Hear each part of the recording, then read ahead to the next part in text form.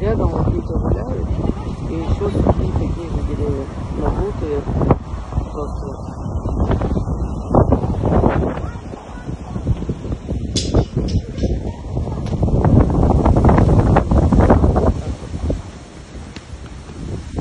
Посмотри, я вот сюда должна была машину поставить. И уйти на полтора часа на ресницы. Господи, Бог уберег. Представляешь? Вон я поставила куда Ауди. Еще поставила, думаю, посреди дороги поставила. Думаю, что я сюда не поставила? Какое место хорошее.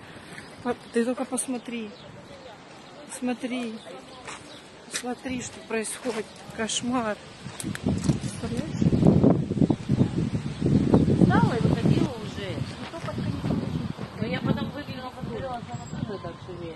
Бедный хозяин машины.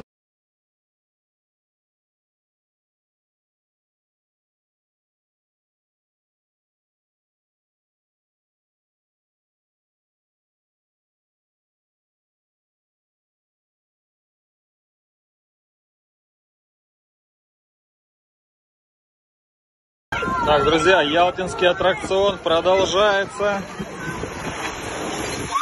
Все в ожидании большой волны. Сегодня она такая более-менее стабильная. Детей очень много. Честно говоря, переживаю за них. Но волны небольшие. Очень классно, тепло.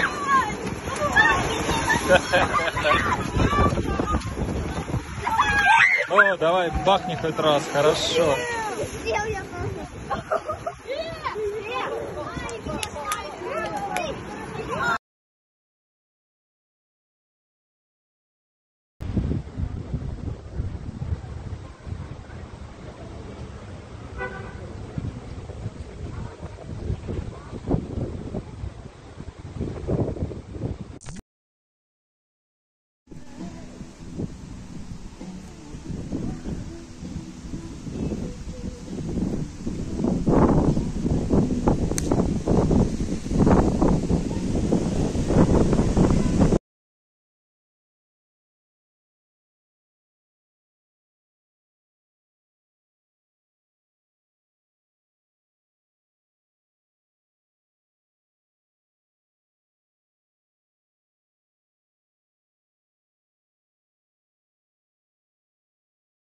Проконсультироваться. Вот у нас тут два платана, да, широко известных.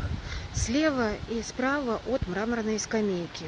И вот у этого платана сегодня от сильного ветра отломилась и упала очень крупная ветка. Посмотрите, какая огромная ветка. Она вот, видите, вот такая вот очень толстая, в несколько рядов.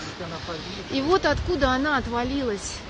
Вообще, откуда, откуда? А вот наверху виден скол очень хорошо. С этим вопрос, есть ли, может быть, какие-то меры, которые необходимо предпринимать в связи вот с таким ветром, да, как сегодня, чтобы не допустить а, обломки и падение веток, потому что вот те ветки, которые сейчас показываю, они у нас над тропинкой находятся, и не дай бог, если какая-то из них упадет и заденет проходящего мимо человека.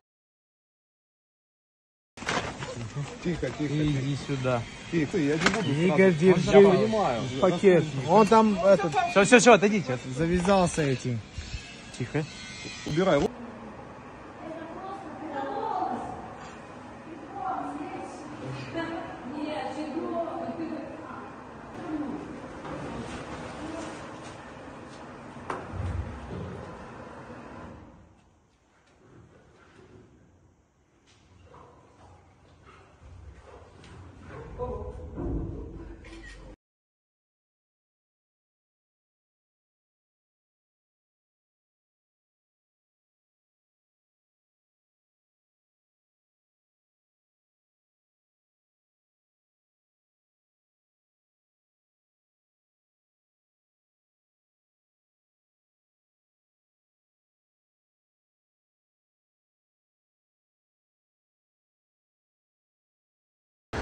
По данным Крымского гидрометцентра, в период с 24 по 26 мая на территории Республики Крым ожидается усиление ветра до 25 метров в секунду. В данных условиях высока вероятность возникновения происшествий на объектах энергетики и жилищно-коммунального хозяйства. Главное управление рекомендует исключить выход в горнолесную местность, воздержаться от выхода в море и внутренние водоемы, не находиться вблизи рекламных щитов, слабо укрепленных конструкций, линий электропередач и деревьев.